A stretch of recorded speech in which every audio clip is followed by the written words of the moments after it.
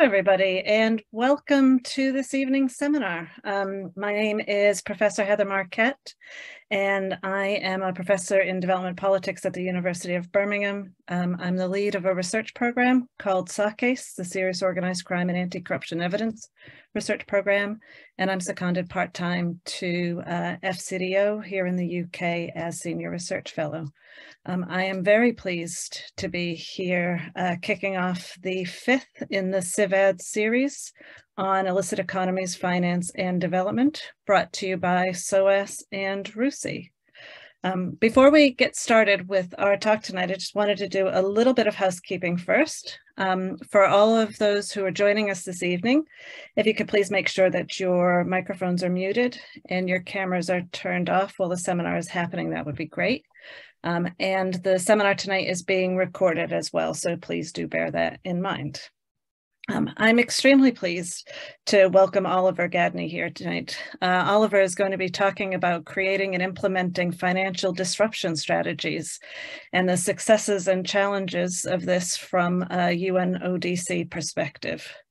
Oliver works for uh, UNODC uh, for the Global Program Against Money Laundering, Financing of Terrorism and Proceeds of Crime, which has a shorter acronym than you would have for the very long time, so GPML. Um, he manages a range of projects that provide technical assistance and mentoring to member states globally on counterterrorism finance and financial disruption methodologies, which we're going to be hearing about tonight. These are in relation to forestry crime and proliferation of weapons of mass destruction. So a, quite a, a wide remit for, for Oliver's work. And prior to joining UNODC, he was a detective in the UK's Counterterrorism Command at New Scotland Yard uh, in London, where he specialized in financial investigation and covert operations as well. Um, before I hand over to Oliver, just to let you know what to expect this uh, this evening, we decided that rather than Oliver doing one full presentation followed by Q&A at the end, we're actually going to split it up into three sections and then have Q&A after each section as well. The first one is going to look at what success looks like the second one is on the UNODC's financial disruption methodology in detail, and that will be the, the longest part of, of tonight's talk. And then finally look at successes and challenges um, in, in Oliver's experience and at UNODC as well. So I'll be looking for Q&A after each section. With that, please use the chat to put any questions or comments, and we'll be keeping an eye on that. And you can also raise your hand um, when we get to Q&A as well, and I'll be here to let people know uh, when, when we're at that stage as well. So unless I've forgotten anything, I think I'm going to hand over to Oliver now, um, who'll start talking us through. Thank you. Thanks ever so much, Heather. Um, and I'm, look, I'm conscious of our audience as well being not just um, law enforcement um, background, but also academia, journalists, policymakers as well, um, and those within the academia also being both at the start of their, their careers, but also those um, later on in their careers. So I hope this uh, next hour and, a, hour and a half or so is going to be relevant for um, all of you. And the title, um, don't be kind of distracted or put off by the title. I, I hope it's going to help you um, as we go through thinking about these kind of disruption strategies from your point of view of um, opportunities for more focused research, um, and we'll come into an area around critical information requirements um, around the business models of illicit financial um, finance. Maybe also um, for those who uh, represent NGOs or other campaigners, either journalists or, or sort of non-official journalists, um, this is methodology is a campaigning tool as well. So although it's a um, disruption methodology, think also as a campaign planning methodology as well. Um, let me uh, share a screen and we'll, we'll kick off.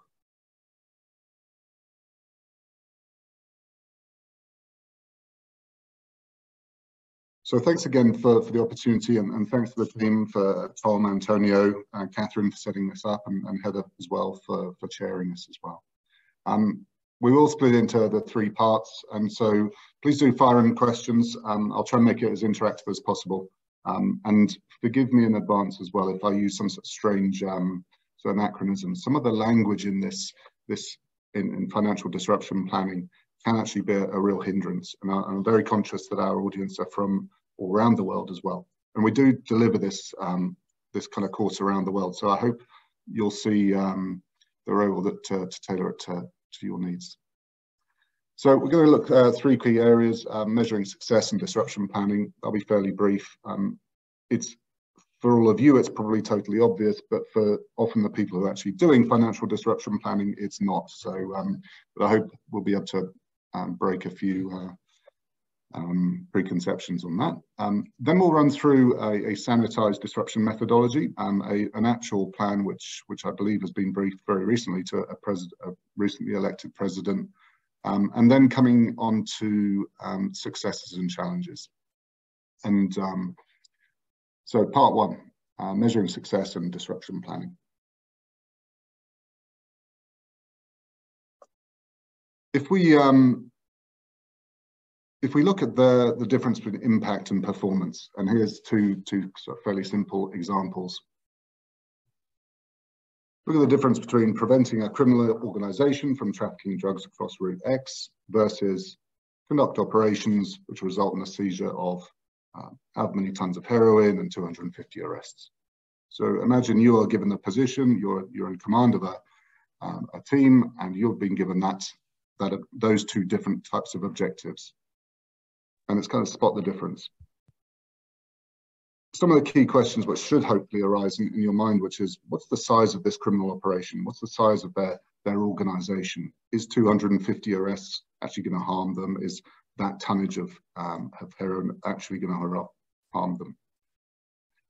250 arrests. Who are who exactly are you arresting? Are these kind of small fry? Are they key people with key capabilities? Are they only the hierarchy? What kind of impact would those arrests actually have? Just if you're measuring by the numbers. And then the tonnage of heroin, you often hear this in the news that so, so and so tons of, of kilograms or tons of heroin are seized. What actual impact does that have in the actual supply chain um, from Afghanistan or Golden Triangle through to the consumer market? The, that actual loss. And I, I often liken it to supermarkets who factor in the loss of a certain number of eggs before they actually get to the shelves.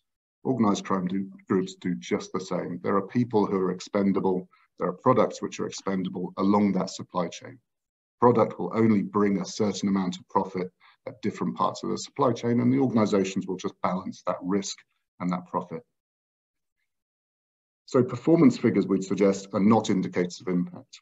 They're just, they just demonstrate the work that's done. So when you're trying to plan and, and set your baseline, set your mission, uh, your initial mission analysis, according to figures of performance, we suggest you're in, you're in shaky ground and actually going in the wrong direction.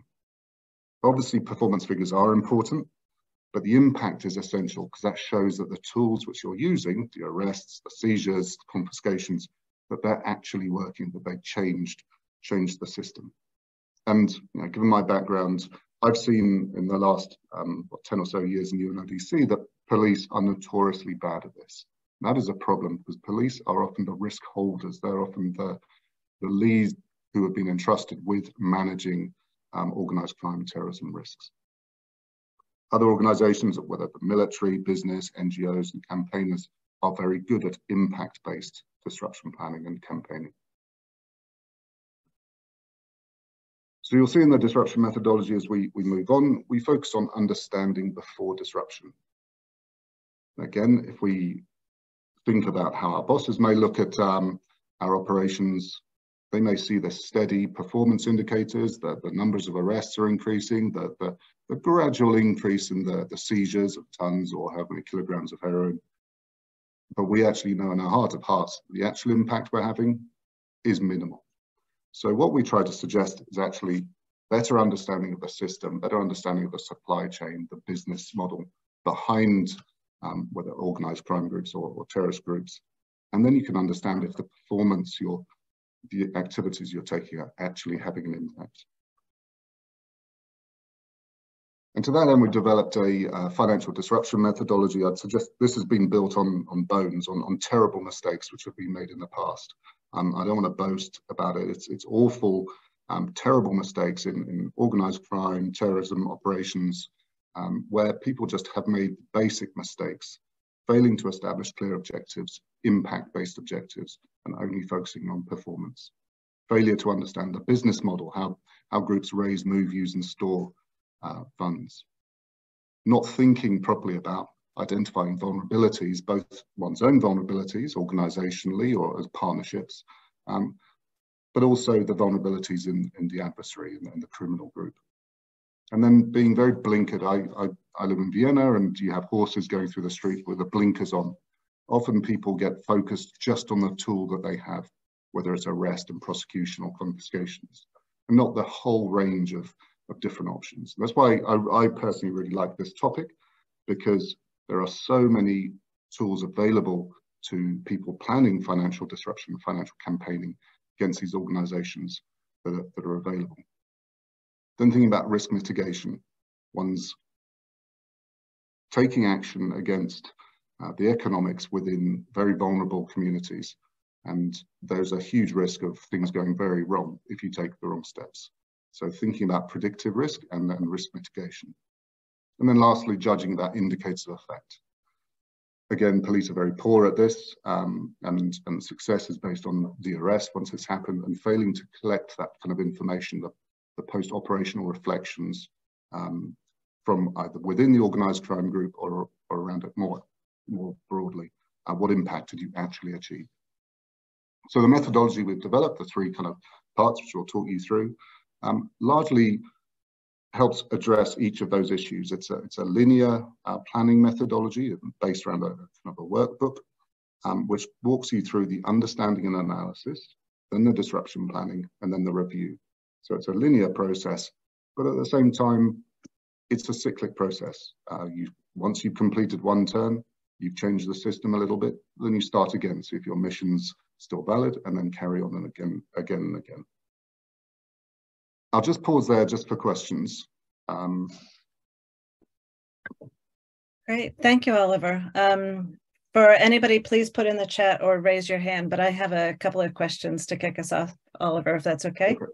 Go for it. Um, when you first started talking about um, sort of the the impact versus performance measures, I could think of all sorts of examples in my my head. And the, the sort of first question I thought about is, um, would you actually see the use of performance figures um, rather than impact for any good reasons? Because I could think of all sorts of reasons why you would see them for, for poor reasons. And you mentioned law enforcement particularly struggling with this relative to others as well.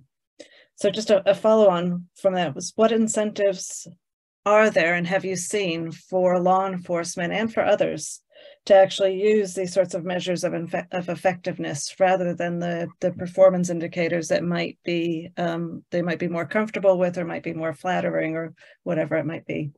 Thanks. Um, not if you're trying to achieve a kind of a, a, kind of a high level outcome. So when, when we get into the, the mission analysis development, I think it's become kind of patently clear that if your mission is, as I was once given, I want to see four uh, terrorist finance convictions as a result of this lead I've just given you, Ollie. Um, it, it's just uh, it just doesn't work um, because that automatically restricts you.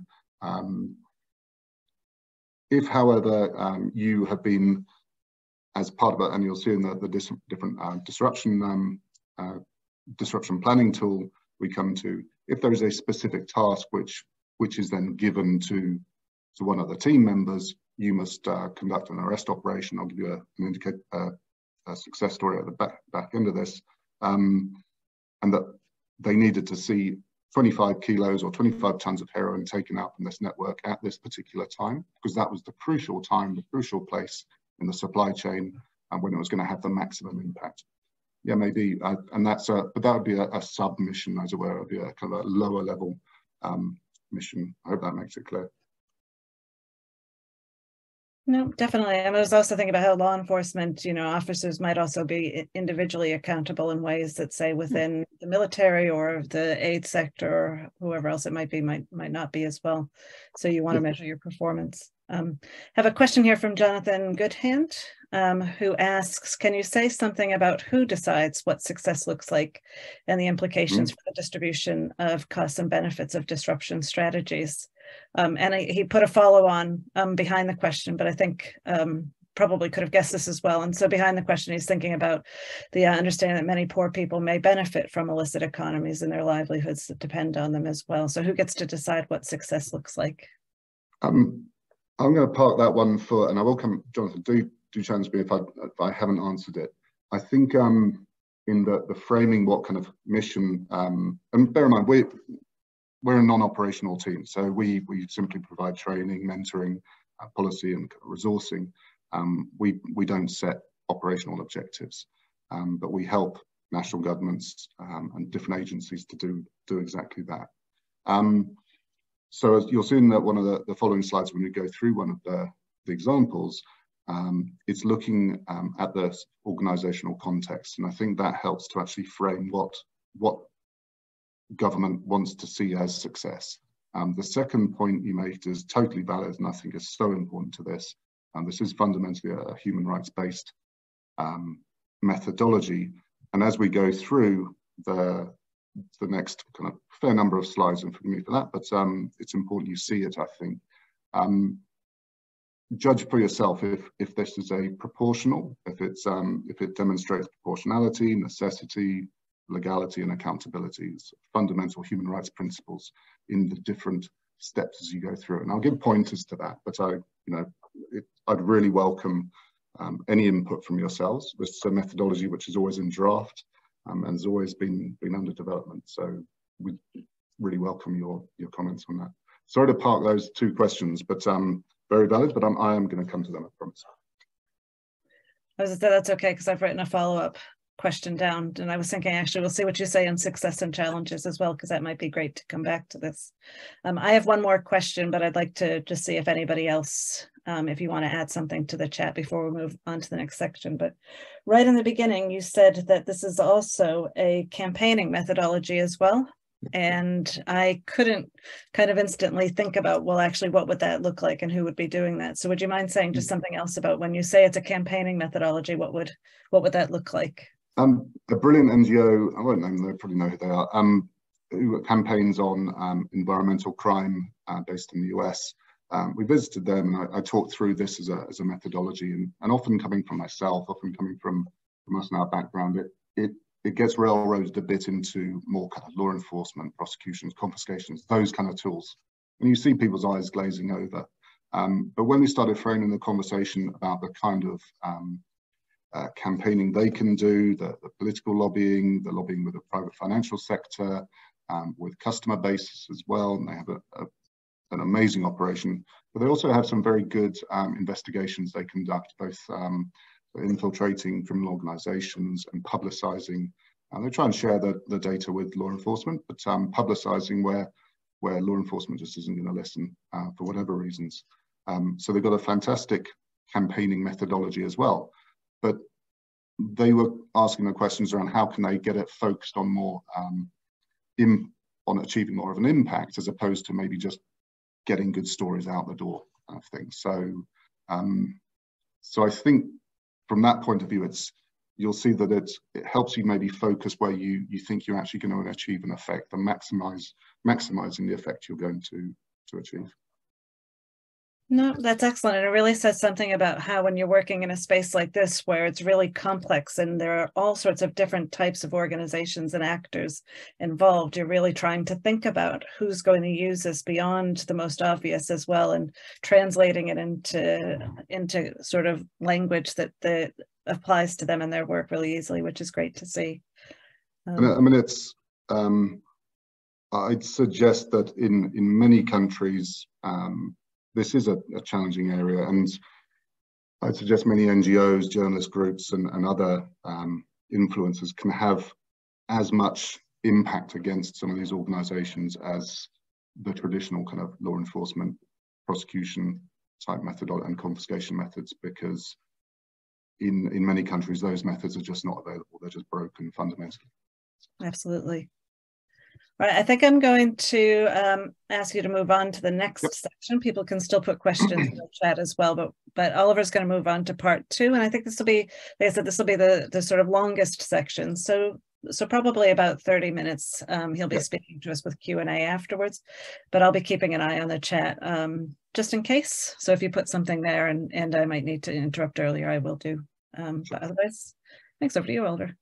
Thanks ever so much. So um, we'll go through uh, the three parts, understanding and analysis, disruption planning, and then review. Um, and it's uh, unashamedly, it's, it's quite a lot of slides, um, about 20 odd slides. Um, this is a it's, a, it's a real example. We, uh, like I said, we mentor and train different countries on disruption planning methodologies, and they may be facing a major insurgency or major environmental crime or, or other organized crime threats. Um, and so we work with them to, to work through and develop their own financial disruption planning strategy. Um, but do think for yourselves about how research, campaigning, um, other specialist tools, if, if, maybe you work in other government departments who've um, got other kind of specialist tools as well. Because usually I'd suggest those are the ones which are going to have the most impact against some of these groups. Um, and again, as I, as I mentioned in, in, response to Jonathan's questions, have a look at, um, I hope it will come out, but uh, do, do look at if you see um, the, the concepts of proportionality, legality, accountability and necessity coming out of this methodology. We're not in the business of training the next Gestapo to use financial tools against their own people or, or opposition politicians or journalists uh, who are just doing their, their jobs. And that, that's important that this comes out. So we're going to use a, an example of uh, country Y, an Al-Qaeda Islamic State terrorist group, which is using mobile money. Um, mobile money, I mean, um, uh, where you have either control of a bank account on your on your phone or you're able to transfer credit from your phone to another other phone. Um, it, this follows an example of a country in Africa uh, where um, which we were mentoring, where and mobile money is really common and it's a great resource to to reach people who don't have, necessarily access to um, banking services. Three, um, looking into a bit more detail, um, and we can share resources with you if you get in touch with me um, later. Um, but we'll start with understanding and analysis. Um, we'll look through mission analysis and a bit of the context. Very important to learn from previous operations, developing a problem statement, a very simple business modeling, so raise, move, use and store, a very simple audit, and forgive me any accountants in the, the audience, but um, you need to keep it simple at first and, gets, and then it gets pretty advanced. SWOT analysis, by that I mean uh, vulnerabilities analysis, which is a fantastic tool. And then the critical information requirements. And maybe for those of you in, in um, academia, um, hopefully that will pique your interest about how potentially some of your, uh, your work can be that much more um, effective in um, influencing policy and some operational um, planning as well. Creating a mission statement, I suggest, is probably the hardest step of this. Um, and we've, we've gone over the difference between um, impact and performance. So here is a pretty clear one of that, which demonstrates the who, what, where, when and why. So by 2024, July, federal government of Y disrupts Al-Qaeda Islamic State, their ability to use mobile money in the country in order to disrupt their, their financing short and snappy, but also um, it does not say how. So the federal government of Y it's not saying arrests everyone, confiscates, enacts this law. It's leaving it open, and that is very, very important, keeping all the options open.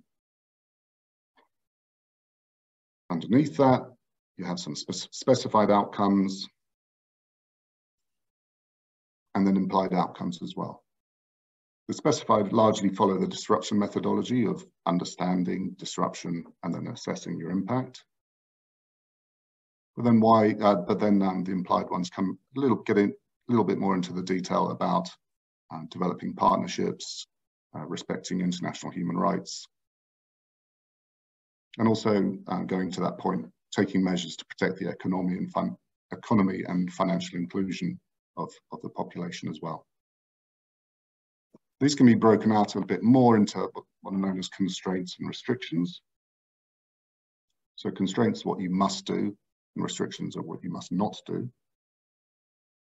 So for example on the restrictions side, you mustn't be breaching human rights, you mustn't be stigmatizing people or disrupting vulnerable economies. So just because a terrorist group, a major terrorist group, uses mobile money, it doesn't mean one should stop mobile money from being used.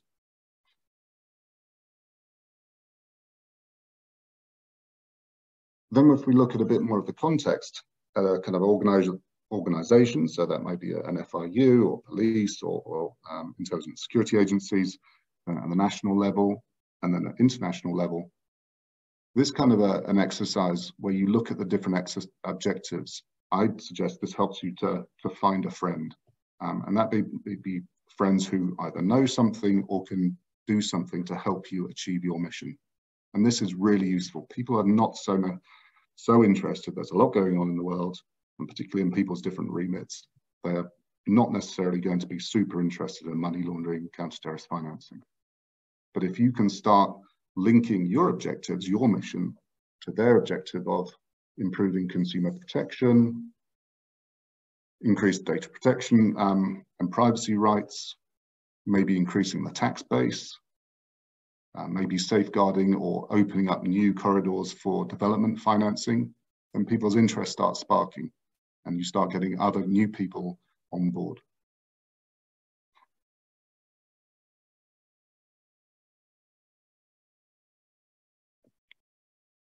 Lessons from history. Um, there is a, um, the reason why we started doing this was we we saw that there was a, a failure of of having an institutional memory, and particularly in the context of in the context of Afghanistan and Iraq, and the counterinsurgency work that was going on there.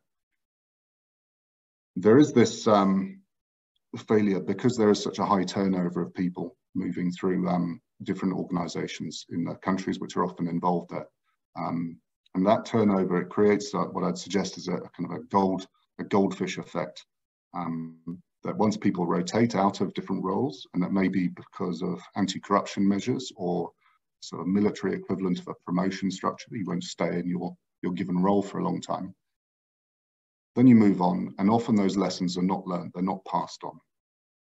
And I would suggest that this is an opportunity for, for academia, for journalism, but also for international organizations such as ourselves to be able to take on and help um, collate some of those um, usually terrible mistakes, but also some good practices, um, and then share them in a, in a situation where a new new drama, um, new new problem sets up.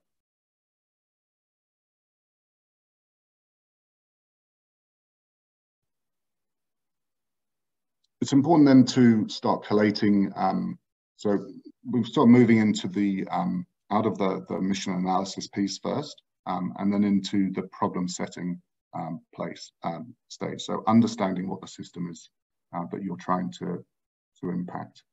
And here um, we are developing a problem statement from a full range of different sources.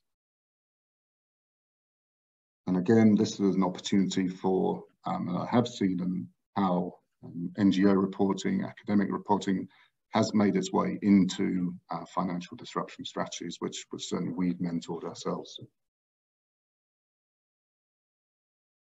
And this, um, this is just one page um, of a number of different pages where, um, in this case, um, you can see that the um, Al-Qaeda Islamic State organization is making use of mobile network operators, the services they provide to largely manage their, their finances. They're receiving money from a range of different sources, good amount in this one, so 40 million from their domestic taxation. Um, when I say taxation, I'm not giving them any legitimacy. That's just how they see themselves as a shadow state.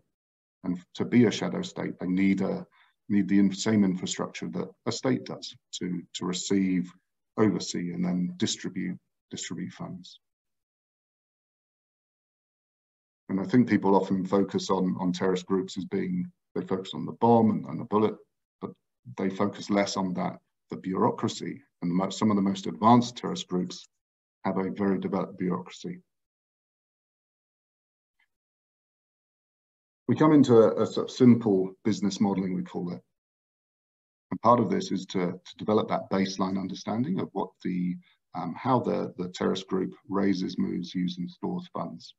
And that raise, move, use, store, it is a very, very simple way of doing a business model. I'd welcome other, other suggestions, but um, For now, it's like the, the who, what, where, how, where, when, and why of, of each of those raise, move, use, and store. This is often um, a, a, kind of collation exercise of collating a full range of different data from uh, which is available um, and putting it together into this new kind of structure, a business model structure. But that helps you start look at the looking uh, helps you to look at the uh, the system, which is going to help you actually learn how to actually break it down.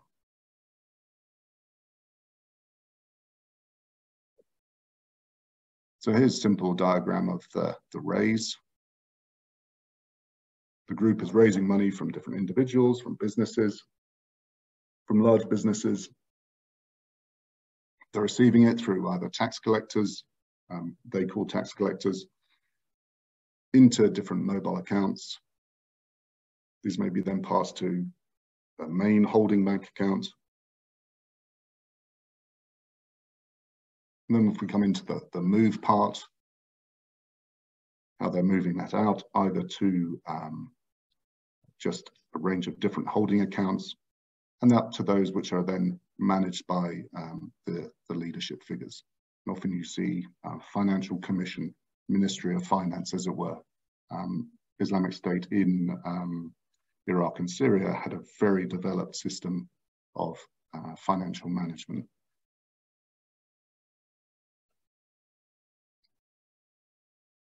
And then how do they actually use it? Passing it out either through uh, mobile money, bank uh, transfers, or through other Hawala type systems um, for, for them to use predominantly for, not just for weapons, usually maybe 10% or so would go on weapons, um, but it's going to be for all the other kind of uh, other costs um, for um, food, accommodation, transport, all those other sort of slightly more boring costs, which people I tend to forget about. And then cash reserves as well. This is a, appreciate this is a pretty basic kind of slide, but behind this within the, the strategy which was uh, developed, there's a whole load more detail that goes into it. Sometimes when you're briefing people, you've got to tailor it to, towards the audience. Um, and that's also important when some of the people you're briefing don't actually um, have a background on the, the illicit finance piece. then we come to, to an audit. So it's kind of take off um, whatever hats you've got and put on the, the accountant hat and think about income, uh, revenue and expense, expenses, um, assets and liabilities. So here we see the revenue coming into the organization uh, from the full range of different sources. So when you look at a, a local economy where terrorists and major insurgencies exist, then you start thinking how I think it's safe to assume that there is some form of relationship. Um, not saying there's a complicit relationship, but I think it's vital to assume that there's a relationship and try and disprove otherwise. So livestock sales, which are in uh, West Africa, is a huge, huge um, source. Transportation of, of goods. And don't think that um, terrorists are always going to be simple bandits. They may actually be to an extent trying to establish themselves as a um, shadow state. So by create, making a, a, business along a supply route unprofitable because they're taxing too much, they're going to be, um, uh, they're not going to be endearing themselves to the population. Often it may be the case actually that they charge less in their taxation than the range of corrupt um, government officials who are also charging different taxation along those routes as well.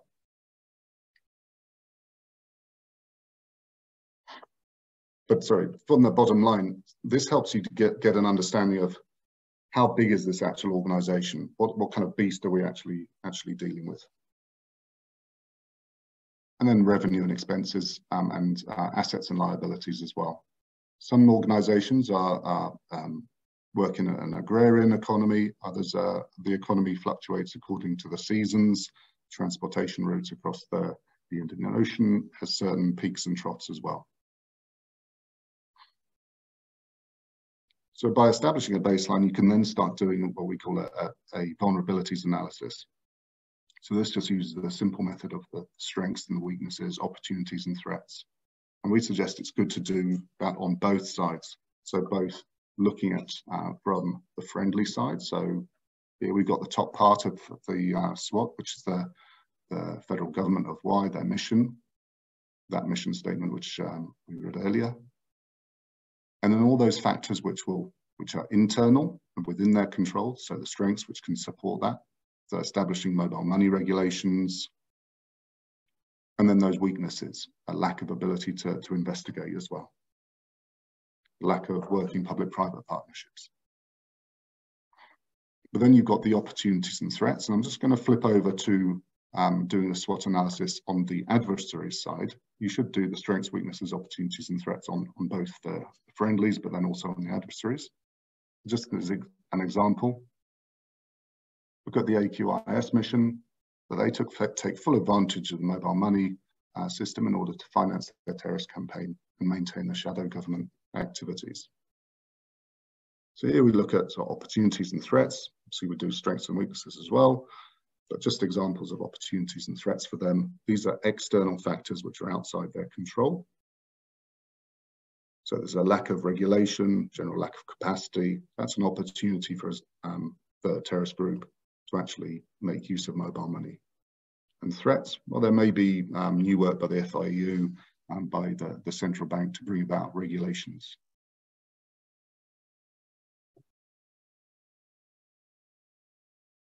Once one's done a, a good um, uh, business model and a good SWOT, a whole load of questions should be arising. That problem statement at the start is just the, the starter. Um, and this should be a process, a cyclic process as well, um, of uh, developing um, the intelligence cycle, of developing um, new information to meet those specific specific uh, gaps, information gaps which you may have. So this is uh, just a simple way to to check those off and make, make sure you've actually got them. Think about who's who's the best one, the best people to get the most accurate, cheap and, and risk-free information.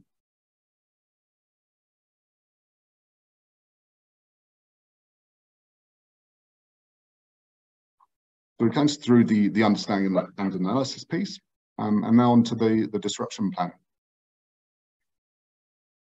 Here we're looking at um, the significant factors. Um, we're not talking about targets. We used to call this targets. Unfortunately, people, what do you do to a target? You usually shoot it or do something to it. So actually targets, um, so significant factors here, this can both be on the, the uh, friendly side, neutral or adversary as well. So here we're looking at just some friendly ones. You've got an FIU, you've got the, the National Council on Anti-Money Laundering, you've got the Central Bank. They can issue regulations, they can investigate, and then you've got the different other um, law enforcement agencies who can then take action as well.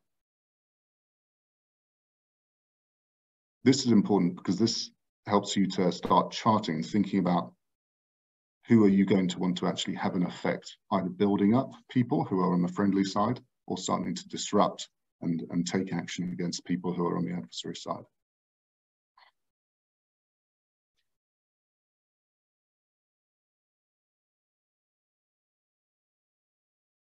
what's really important is um, what I like about the methodology is that you can start developing um, tools um, and having a what we call a disruption toolkit.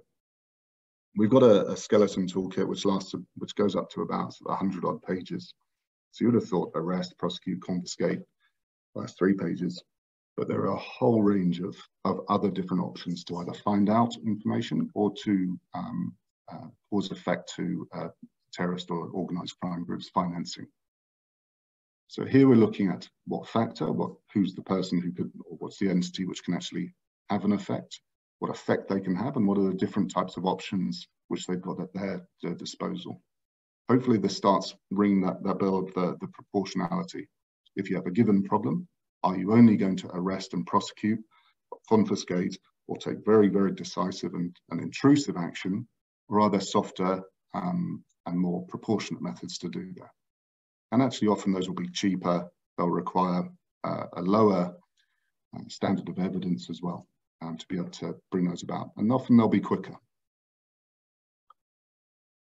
So there's some examples of, of just a few of the options which are potentially available in this space, starting to establish secure access to mobile money transaction records.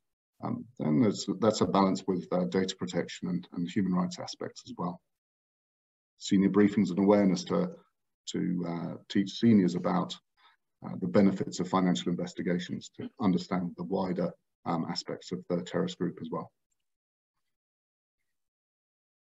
Still, we haven't actually developed the actual plan yet. And, and often as we're going through these courses, people are sort of really fighting because they want to actually get, get ahead and actually start developing the plan itself. So here we're looking at course of action and here you can synchronize different course of action into those which are preparing, the, the shaping ones. So maybe training, establishing teams, the decisive side, which is the people who are actually going to take action, either to um, which will help directly help your, your mission to succeed, and ongoing sustaining activities, which may be resourcing and training.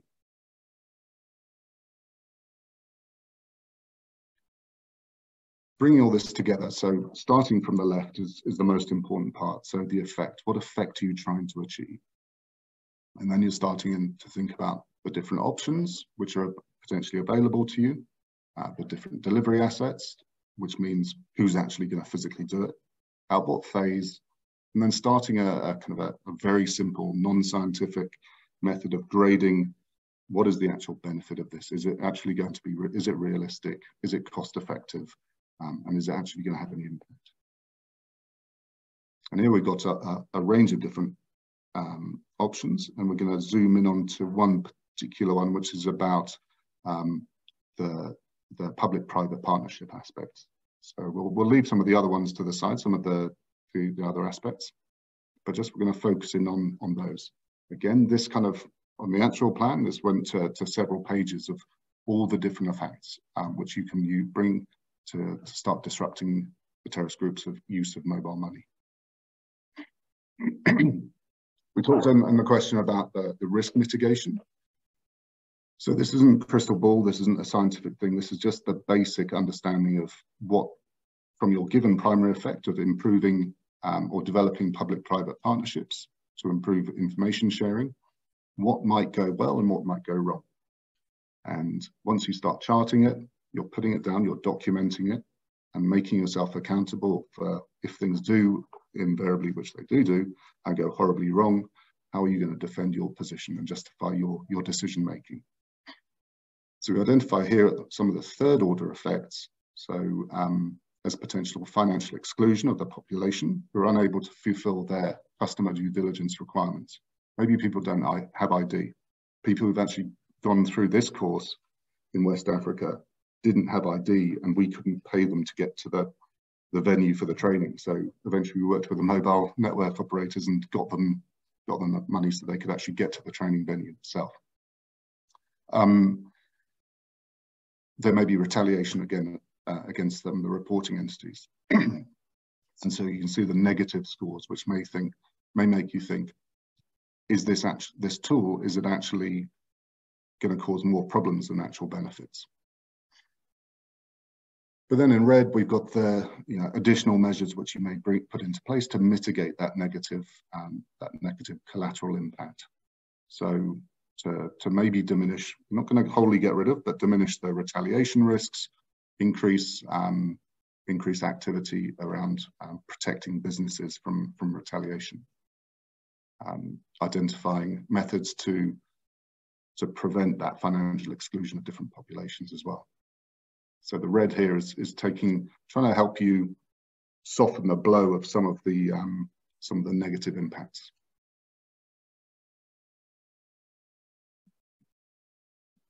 So bringing that together, you've developed a, a, plan, you've done the risk assessment, you've taken mitigating activities. Most importantly here, you've got the, the indicators of effects, just developing a fairly simple plan focused around your mission um, to think, what effects would we like to see which, which demonstrate the whip, sorry, what indicators would we like to see which demonstrate that we've had an actual effect? So uh, starting to chart these and starting to think, well, who's actually going to collect these? People often make the mistake of running their operations, running their activities first, um, and then only thinking about this after everyone's gone out the door to go and do the operation. So here we're encouraging people to, to think about that plan to, to gather those indicators of effect at the outset and be ready for it. That was a lot, though, and unashamedly a lot, but I hope it's um, you know, G'd up a, a, whole load of um, questions this is only an hour and a half on this, and, and sometimes the course takes about five days or so, and it can be. Uh, and the mentoring exercise took about five months um, to develop the actual strategy. But uh, I hope that's raised some some thoughts. Heather, over to you. Great, thank you very much, Oliver. Um, sort of again, I have some questions here, but I'd like to to hand over to participants first um, to see if anybody would like to ask a question. I've, I've had one direct message um, asking about raising their hand, for example. Um, so give people a second to see if anybody is brave to put their hand up first.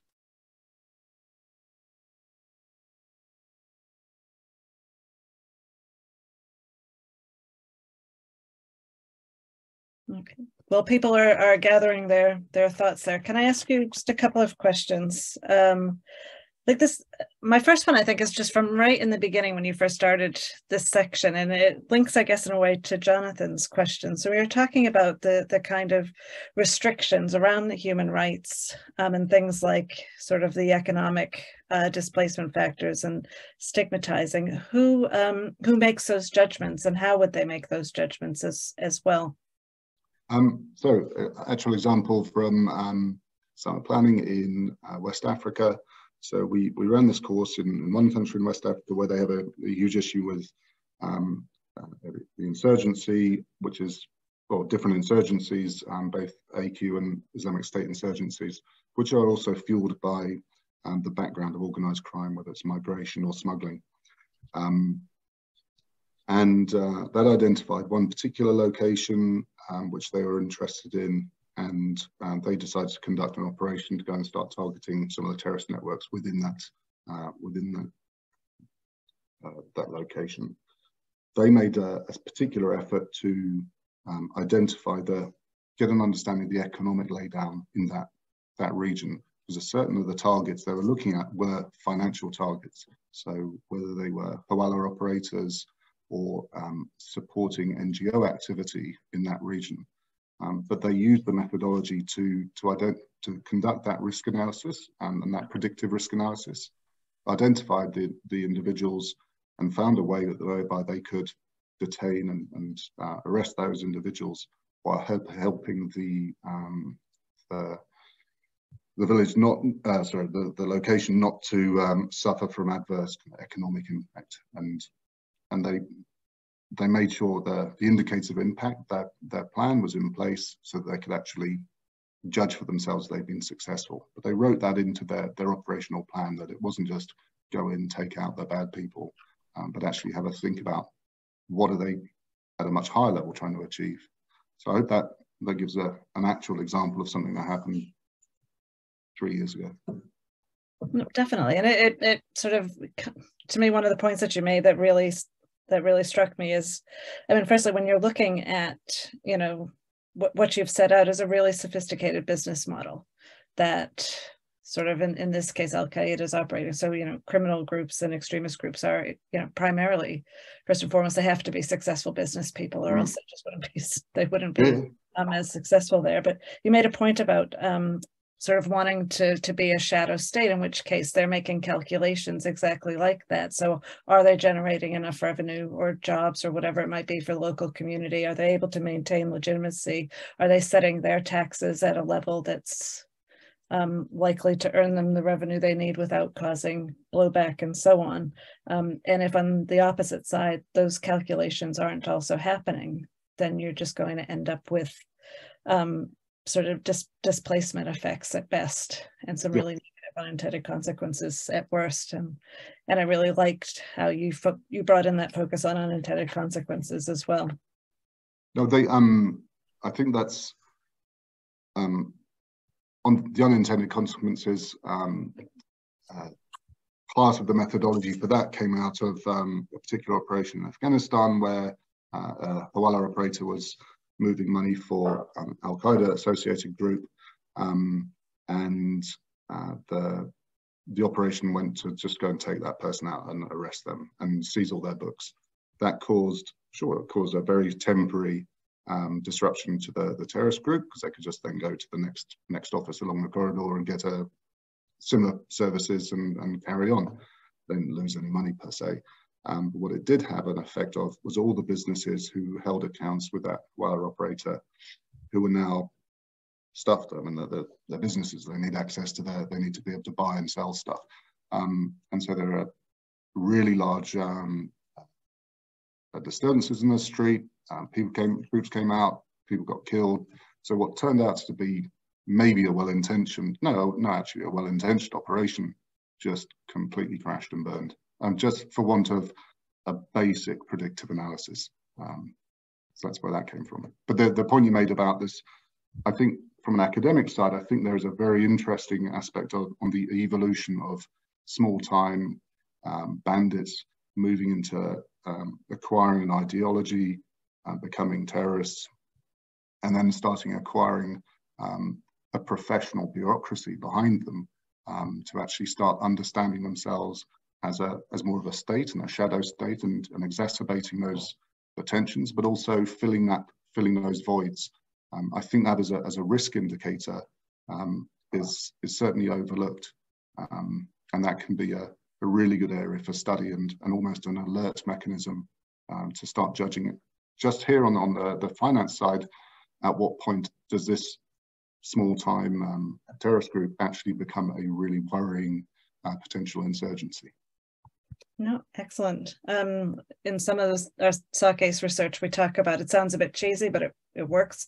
We talk about trying to think about moving from disruption and displacement. So to disrupt and displace to disrupt and replace. So yeah, what is it that that's actually serving within those communities or whatever it might mm. be? And then how do you, um, how do you sort of build things alongside to make sure the disruption activities don't create those unintended consequences. Um, with that in mind, uh, Jonathan's asked another question as well, and I'm going to ask the whole one, even though he says you answered the second part of the question already, but I'll let you hear it here. So how do you make the judgments about the short-term versus the long-term trade-offs? So for example, disruption may be successful, quote unquote, in the short term, but then displaces the problem elsewhere or leads to greater vertical integration and professionalization. Um, and then the second part is also how do you deal with the illicit uh, illicit entanglements? So the Hawala dealer who moves terrorist money, but they also move money for farmers and local business people. Um, on the first one, thankfully, I'm, I'm not a decision maker in it, so uh, I personally don't. But uh, how does how does one do it? Um, I think by teaching people a, a, methodology which they can be held to account by, um, and um, yeah, I sorry, I, I can't maybe I can't answer that more more of a detailed way. Um, I'll have a think. But um, the the second point about how do you untangle this mess? Yeah, if it was just a simple person who who'd stolen a loaf of bread or, or whatever, or stolen a million pounds out of a bank, it's fairly easy to go and arrest them. But uh, it's not. It's um, it's threat networks who who exist in um, in spaces where there frankly isn't a government or um, there is only government in, in very small ink spots within our country, within a region. Um, often uh, groups have no concept of the actual borders or borders are simply somewhere a, a place where you can make more profit either side of them. Um, the interrelationships between crime and terrorism, people flip from being a terrorist on one side to Al Qaeda to an Islamic State, from uh, a nationalist to, to whatever, however many times in a day. That I would suggest is when you need to have a methodology to actually start looking at the um, to start unpicking it. Um, and that's when you need to have a, a much more developed um, sort of multifaceted plan which which goes to yeah, sure the pointy end so uh, using uh, police and uh, prosecutorial powers. Uh, we don't we don't we don't teach the the military military side. And sometimes there's military support to, to police but um, there's there's the military side to some of the stand disruption planning but then I would suggest there are so many other soft options which are available out there. And when we ran this course, for example, in a country in East Africa, sure, one of the first options which went up on the board was involve drone strikes. But um, I would say 95% of the other options were develop this regulation, build a partnership with them, um, develop this uh, relationship with that FIU overseas. Um, and actually those were seen to be the ones which are going to have far more impact. Um, so yeah, I, I think that, and it's only that kind of method I'd suggest is going to start separating people's interests and, and understanding like you won't arrest that that particular Hawala operator because they're probably more on, on the neutral side and um, anyone's going to do stuff if they've got a gun to their head. Um, but perhaps there's a way to actually flip them to becoming an informant, uh, for example, which is kind of stuff I used to do. Um, so there's a whole whole range of different options available, um, and that's why I like this kind of as, as a methodology and the, and the toolkit, because it opens up opens your mind to it. Um, I, before I, I um, uh, ask that we we move to one of uh, the questions where somebody has their hand up. I just want to say I really so I really appreciate your answer there, and I think that the something that maybe ac academics and practitioners don't always think think about or kind of think through is that a methodology like this ultimately the people who make those judgments might be sort of political leadership or people at very high and senior levels. Um, and so without a method like this they might be making those decisions kind of like a sort of you know based on gut instinct or whatever information has been put in front of them or their preconceived ideas or whatever. So to have something that that provides that framework for accountability for decision making is really important and in the the UK there's the MO, the MOD have a the good operations guide coming out of Chilcot which actually the methodology here aligns really nicely with those principles about how you make good it decisions. aligns because we stole it, stole quite well, not stole anything, but uh, we there's a lot of borrowings from this from a number of different. Um, yeah, Chilcot actually did inform some of this methodology, the, the fundamental failures of, sort of intelligence and and sort of use of intelligence in decision making, um, and then some of the training that came as as a result of that. Um, but we have been able to balance this by by delivering this in in many parts of the world um, to be able to absorb different ways of, of looking at problems and addressing them. But uh, yeah, there's been a lot of borrowings, which is part of this kind of institutional sort of memory, or sorry, um, yeah, institutional memory, which um, which I think we, we've got a responsibility for. Yeah, brilliant, thanks. Um, Catherine, would you mind unmuting Anushka, who has a question for Oliver? Hello, good evening. Hello. I just introduce myself quickly. I'm actually I'm a student still of I'm studying international relations and development, and I'm absolutely not a professional, experienced professional, but I'm rather passionate. So I've written some notes, and I would like to ask perhaps like two questions, but they are kind of related.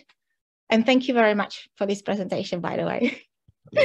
uh, firstly, um, regardless all the effort you, you put into into your missions and everything to to tackle organized crime and uh, money laundering and etc what if what if the the problem the, the rot is within within the core? So let's say um it's well known that the uk especially london is like a butler to the whole world and people or the companies or different countries can set up organizations offshore according to English law because they are different and they can they can make um, imaginary company and they can launder those money. Hence, we have plenty of empty properties in, within Westminster Westminster area. We know why. Um, basically, we know that Western world, London, it was between the New York and London. It is a center of of the of the of the show, and perhaps is it as you said even like it would be so easier to if somebody makes um, a fraud money fraud for transferring the money it will be easier to to jail them. But what if they're just too big to jail? For example hsbc right? The, the scandal with cayman islands a few, few years ago. All of them involved at the time. They they just they just they they are living happily their lives. Probably you know they retired and they just they just live their lives like nothing happened yet it affected many people rapidly in the past also in mexico and all over the world so it's just very interesting so even though like regardless the effort we can put what does it mean doesn't does it mean anything? Because sometimes it might feel kind of pointless.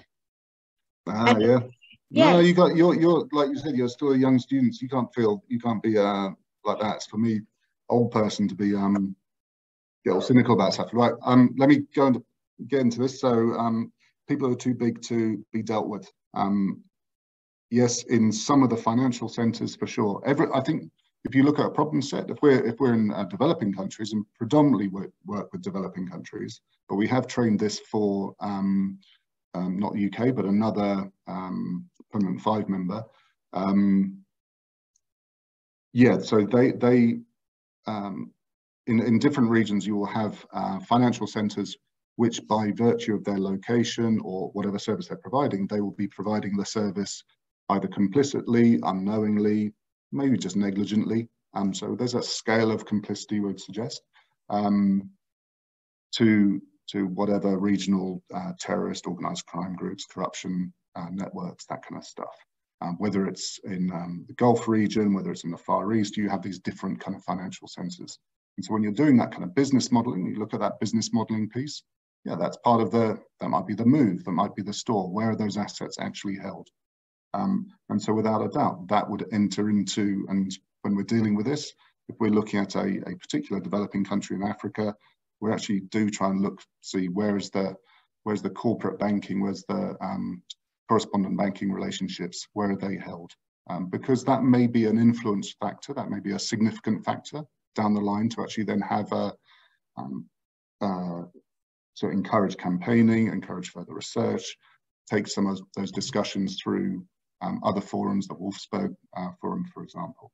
Um, too big to, to jail or, to, to fail, I don't believe in that. I think it's, it's a matter of peeling the onion, finding those points of vulnerability, get in there. There's, there's always ways to, to get in there. And it's not for me to name names or, or talk about particular countries at the moment. Um, uh, but um, no, I, I, don't see there's ever, that's why I like this methodology. I've seen um, some of the least, um, well, young people, are, um, young, inexperienced people develop the most amazing disruption strategies by virtue of the, their imagination. The older you get, the more focused you are on what you think has worked in the past. Um, but if you've got a whole wide toolkit and a lot of enthusiasm, no, straight up. And and this as a as a methodology, a campaigning methodology as well, is is quite, I'd, I'd suggest, as effective, not just working against organised crime groups, but other other kind of advocacy areas as well. About. Thanks, Oliver. I've been focused on what what maybe has worked in the past, but maybe a bit hesitant to try things uh, that that haven't worked in other contexts. But you never know as well. I think.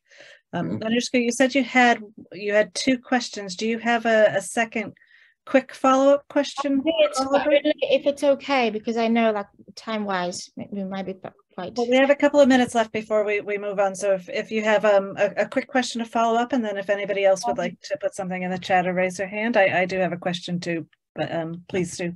Very quick one, just briefly. Uh, I will go like a few decades ago, like in, in the past, that what what if that the whole system, the whole capitalism actually kind of supports this crime, globalized crime, and, and emergence of it. So let's say, for example, I'll give an example because I, have researched about it a lot. In the 1990s, when at the beginning, when after the fall of Soviet Union, countries, uh, post-USSR countries, for example, Bulgaria.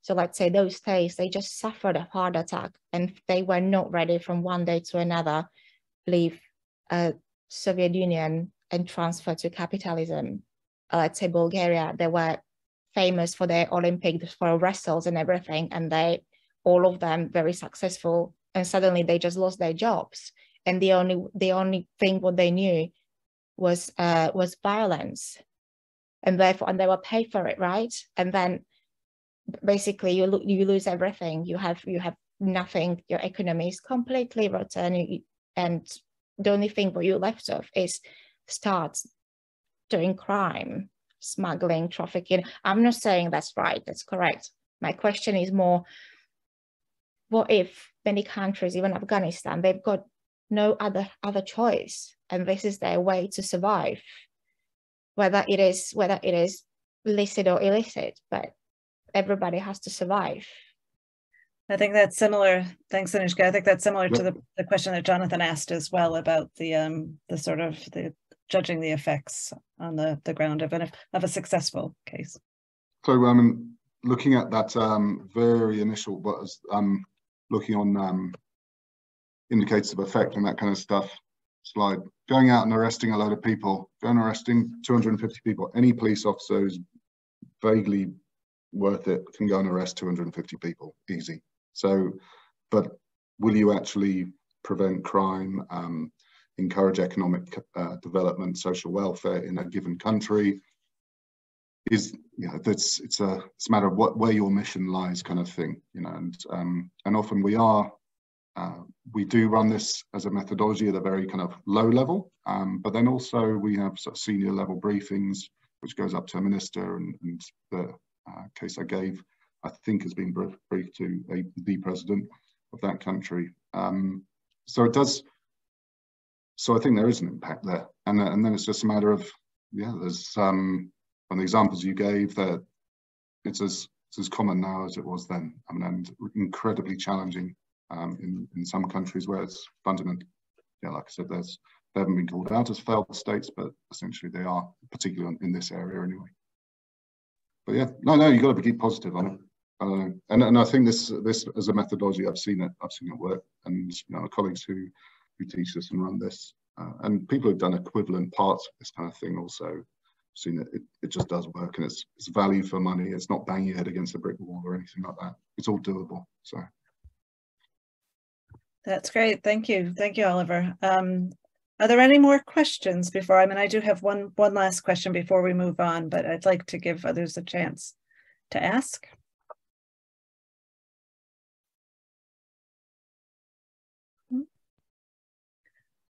So the question I have for you, Oliver, oh. is, I'm sorry? Oh, Heather, do you want to do you want to do that one um, after the successes challenges one? Yeah, no, We've got no, 15 can, minutes then, and then um, I can hold mine. So if you move on hold. to successes and challenges, that sounds great. And then may um, some more. Um, let's do uh, yeah, sort of successes and challenges. And these aren't these aren't my successes or anything, or our team's ones. It's the you know, brave men and women who are basically doing this. And um, going to some of the questions, it's it may be the minister of, of um, is the problem, or the head of the police is, is the problem, or the head of the intelligence agency is actually a problem because they are aligned or, or um, their their integrity is so compromised that they're no longer effective, and that the whole organisation uh, is is essentially out of bounds. And if they're the the risk holder or they're the risk manager for illicit finance in, in that country, what do you do? So um, impact. Um, I think I'd like to sort of split this by um, um, policy and operational side. So on the policy side, I think uh, this is a fairly new, and we've been going with this for about six years, I think. Uh, we've been putting this together and then um, and using this method, using this terminology uh, in forums uh, like the Financial Action Task Force, who, um, although we're, we're, observers there, um, we do feed into and, and co-chair some of the, the papers and um, also feed into some of the policy discussions as well. Um, so I'd suggest a local, regional, international impact on, on the policy side. Um, so just in the last, uh, started around COVID actually, was got mega busy during COVID, um, developing CTF strategies with uh, three countries in Africa. And those are kind of top level ones of the problem of um, a given uh, Al-Qaeda Islamic State uh, network in a given country, um, right down to say mobile phone, um, uh, use of mobile money uh, by terrorist networks, so of zoomed in as well. Um, and th those are you know, those are now part of the, the policy framework. You have a um, in the AML CFT world, you have the, the national risk assessment, the, the FATF recommendation one national risk assessment. So what is the kind of problem? What's what's coming at us, but also where are we weak as well? Um, then that usually translates into a national strategy, but then there's a bit of a, kind of a pause and a kind of intake of breath of what do we do actually do next? Um, and so we'd suggest sometimes this is a methodology helps that next step of right now physically these are the these are the um, this the, the mission analysis, the business model, the the actual the planning step of the next specific steps. Arrest this person, build that bridge with those uh, that community, um, reach out to those different banks to develop a much better information sharing partnership, that kind of very specific uh, kind of stuff. Um, then on the, the money laundering terrorist finance uh, split, we've actually been able to use this not just on, on I gave the example of um, Al-Qaeda Islamic State, but we also use this on, say, environment crime, uh, drug trafficking, human trafficking, migrant smuggling um, in, in many different regions. Um, and that can be really zoomed down to a, a particular border crossing area in, in, in the Balkans, uh, to a, a, kind of cigarette smuggling route in, in the Sahel region, uh, uh, timber crime and illegal deforestation in, in Southeast Asia as well. So we've got quite a lot of ways we can, can apply this as a methodology. Um, regional, so uh, there's a, a, regional grouping of countries in the, in the Sahel, and they adopted, um, well, no, they haven't adopted it, but um, they've started discussing adopting it, which is, is as good as basically adopting it, um, adopting a uh, financial disruption planning methodology as part of the wider counterterrorism, counterinsurgency strategy. Um, we'd suggest if you, you're running a counterinsurgency strategy and you don't um, think about the finance and, and certainly the, the um, yeah, this, this was a mistake um, which was made and, and repeated uh, in, in Iraq and Afghanistan, for example, by people who should have known better because they were managing these kind of um, these these issues in in other uh, major cases they've been working on before. Um, but this was a quite a seminal thing for, for the Sahel region because that actually gives them, gives them a whole new lens to look at the problem, the, the sort of economic um, and development finance lens as well, and the risks to that. Um, on the international side, um, we managed to get, um, uh, we saw a, a, Security Council resolution uh, late last year, um, 2662, uh, which was a, a follow-on from the same one about the year before, where um, specifically uh, this, this language of disruption and fi financial disruption got into a, Security Council resolution, which I'd suggest is quite, quite new. It wasn't, uh, we call on um, the, the government to arrest, prosecute, you know, that kind of really limited kind of role, um, limited type of um, activity. But here is just plan the disruption of Shabab's uh, operations and exploitation of the illicit financial system, for example. So, um, so having that on a, an example of this call for a, a, both Somalia, but then also ourselves, um, and it's not just ourselves, but there's other teams within UNODC who um, feed into this on some of the border border management, border border protection side. Um, I thought that was quite a quite a major major success. Then on the operational side, one example in, in the Sahel region, again, um, we'd, we'd worked with a country for um, several years and um, warmed them up to the, the concept of financial disruption planning. Was it even, was it even worth doing, uh, given all the different problems they've got? So working through the methodology, um, they, they started developing the, the intelligence um, of picture around the problem, which was um, a real mix-up of, of organised crime, corruption and, and terrorism, um, financing instability in a, in a given area. Um, what came out of that was a, a, focus on fuel smuggling, and that's one of the key so, um, key disruption options was going to be targeting the not only the the individuals but also the the assets, so the the heavy machinery, uh, the properties which were, were identified. Um, and as a result of that, uh, earlier last year, um, a number of operations were undertaken and, um, and a lot of people and a lot of stuff got taken out. And we, we then um, did a sort of estimated impact around that, which although operationally it was probably quite significant, perhaps more importantly, it was, it was about the development and, and the confidence building among the, the national authorities and their partners in, in other countries as well that they were using some really good tools like the um, the, the CARIN style asset recovery networks, uh, different international cooperation mechanisms such as Egmont, um, to, to actually build those kind of partnerships against these really big and, and deep-seated um, organized crime and organized crime groups. So, so it wasn't just the, the kind of operation impact against the group itself, it was also about the kind of developing the home team as well. As well. Uh, last example, um, second last, sorry, um, is a, was a major organized crime group which still exists in uh, Southeast Asia, which is involved in um, predominantly environmental crime and illegal deforestation in, in several countries in uh, Southeast Asia. Um, a, an I2 chart which which covers um, covering the different network. And I, I, put some blobs on top of it. It's not quite as simple as that, but it shows got a finger in most pies in, the, in a given country.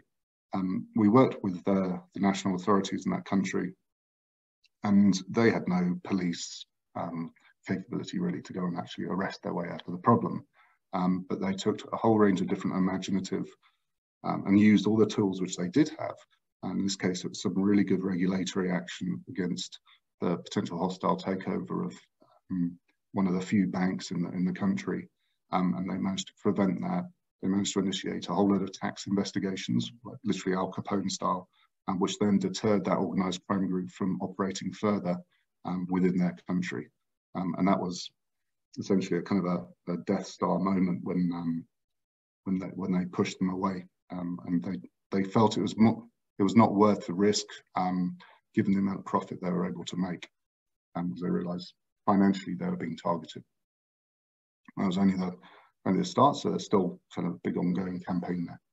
Um, last point, I mean, I've been going on about the, the financial disruption side. What we're now developing with, with the partners and other teams in, in the organisation is a systems analysis. So looking not just at the finance piece, but the wider system, the threat systems, so the social networks, the supply chains, the information flows, um, and that may be um, organised crime groups talking together over uh, what they think are secured uh, mobile phones, for example. So great case around that. Um, and then risk flows and look different ways of looking at a problem and then still using the same disruption planning methodology again. So, so just on that, swapping out the, the business uh, modeling piece, which I, I, talked through, and adding in a whole load more on social network, um, uh, product flows, um, uh, supply chain, the same kind of uh, concepts around supply chain um, securing, which we, we heard about during COVID. Um, but here we're looking at disrupting supply chains as opposed to securing so there's just a, a few um, successes on the on the challenges. Mindful that we're coming up to nearly closing time. Internal, I think I've gone through um, performance-based success, prosecution and police. I've got a great prosecutor in our, our training team. Uh, he gets so he's still a prosecutor in, in a European country, and he gets so much he gets beaten around so much because he runs these kind of um, uh, sort of uh, problem-solving meetings in his country. Um, and as a prosecutor, he's often encouraging colleagues not to prosecute, and, and he gets beaten up by his boss for that. So often when prosecution and police are leading the planning, um, then then you tend to, if you're if you're a hammer, you look for nails basically, uh, which can be a problem. Um, lack of senior level engagement. Good ideas don't always go up. Um, quite the opposite in, in many cultures and countries, and um, and so we often try and uh, brief at a very senior level as well, uh, because for all the good ideas uh, which can be can grow from from um, more junior junior grades, bosses just won't listen to it. They'll just tell you to go out and start arresting those 250 people.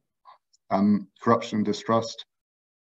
People bang on about uh, international cooperation and uh, interagency cooperation, but if you know the minister is is the drug trafficker for the country, if um, head of the, the police or customs is the person, is the brother of the major organized crime kingpin, you know, who, which uh, investigation teams are going to want to work with that agency. So that that really does um, that is really difficult, and, and I think it's better to assume that when when making these kind of interagency teams, uh, assume corruption and assume um, yeah, assumes sort of a lack of integrity rather than rather than risking other stuff. Um, externally, I think um, the, this context, if if you start selling this just as um, taking the funds and, and financial capability off organized crime groups, yeah, people usually get it. But if you start selling it more widely as, as support to social um, social welfare and economic development, and safeguarding uh, sustainable, safeguarding uh, development financing pathways, you get a far better, better kind of buy-in from a range of different people. Um, I mentioned about institutional memory, um, uh, impact and impact and performance in, in technical assistance providers. Um, that might just be a wider whinge. Um, I, by that I mean some of the training which is, is offered as part of, say, that sustaining operation. So training new FIUs, training new investigators. I think it, there's a um, big opportunity for that to, to significantly improve. Um, and that last point on recognition of failing states, or aspects of failing states anyway, um, there's certainly some of the, the counter-threat finance infrastructure within many countries we, we work with just isn't fit for purpose. And so in a sense, on the, on the threat finance side, they're, they're in free fall. Um, and that's the sooner that's called out or, or seen as a major, major problem, uh, the better. Um, you have a fantastic system of, of um, evaluation with the FATF and, and uh, to an extent with the, uh, UN CTED as well. But, um, but still, there's, um, I think there's a lot of scope there. I think that's that. Heather, back to you. Thanks. I mean, your, your last point there about fragile states. I mean, you said something sort of quite early on in the section about confidence building and how success can really build confidence in taking these kinds of things forward again. And I think um, sort of lessons show that political will can sometimes really hinge on Mm. sort of key decision makers confidence and belief that there's actually going to be a chance of success. So why would you stick your neck out? Why would you go up against really powerful people or you know disrupt your economy or whatever if you don't think that the capabilities are there if you don't have trust um, in the people who are going to be implementing this? So those successes can actually carry a lot of weight going forward and and sort of breeding more success. But especially in I mean, it's the same everywhere, but in contexts where resources are very low, capabilities are very low, um, and you know the, the, degree of belief needed is really important. Um, there's, I mean, there's the point. Um, we made one argument. It was a, it wasn't a formal disruption planning process, but with one counterpart in a, a major financial centre, global financial centre, which was which had failed miserably on its FATF um, evaluation. Um, also no, it hadn't failed. Uh, it was looking like it was going to fail. Um, and it was it was a car crash waiting to happen. Um, we we brought together some of those kind of senior policymakers on on the the intelligence and the, the, financial side in the country, together with some of the um, uh, AML CFT people in uh, major banks who are operating in that country. Bear in mind this was a financial centre, and they um, they pretty much laid out the, how much it was going to cost for getting a really bad rating uh, with the FATF. And that was their assessment on, well, you're going to, your business people will need to get a whole lot more enhanced due diligence done because there's going to be a, a really bad reputation around this, this country. Um, are people going to want to come here with their business or are they going to go to the, the other one just quite close by?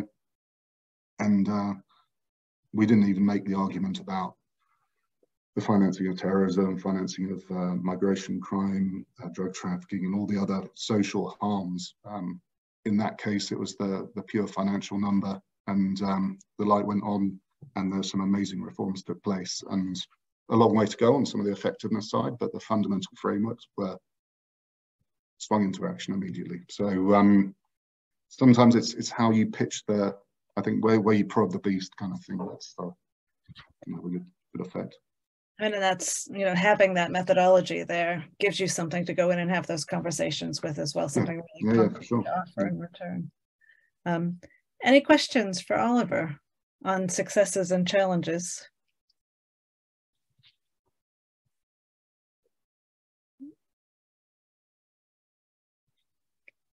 So one last one for me that I had was around, you talked about multi-agency working and also about trust. And it struck me throughout your, your talk today, um, the, the sort of real emphasis on cooperation and coordination. So you've got different types of agencies within government, but also the mm-hmm. private sector, civil society, or so on.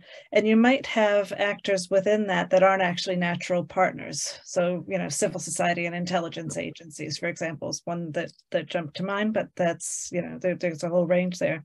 So in, in reality, how do you actually how have you seen that cooperation come together and some of that kind of natural distrust fall away um, in terms of this process? Um, I think it's yeah, there, there need to be kind of know, legal um, institutional frameworks in place so that people are allowed physically to talk to each other. Um, and police intel folks won't just won't talk to to others because they'll get arrested and, and thrown in jail in, in many countries. Um, I think some other countries, uh, European countries, um, and Western countries, I think, can be a lot more open to that kind of that sharing of information. Often there's a leakage as well of staff from government agencies into the financial sector and maybe into some NGOs as well uh, who, are, who are campaigning on these issues. And so there's there may already be those kind of human relationships.